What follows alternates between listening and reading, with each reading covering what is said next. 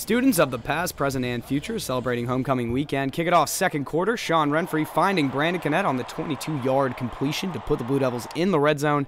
In the very next play, Connette calling his own number and sliding his way into the end zone. That tied the contest at seven, but this game would turn into a blowout soon after. Renfree passing again, this time throwing deep to who else? Conner Vernon. 37-yard touchdown, but Renfree was just getting warmed up. Third quarter, Desmond Scott with the diving grab. That would put Duke up by double digits. And now Renfree finding Connette again. The first receiving touchdown for Connette in his career. And the Tigers forced four turnovers in this game, but Duke would still take this one 38 to 14.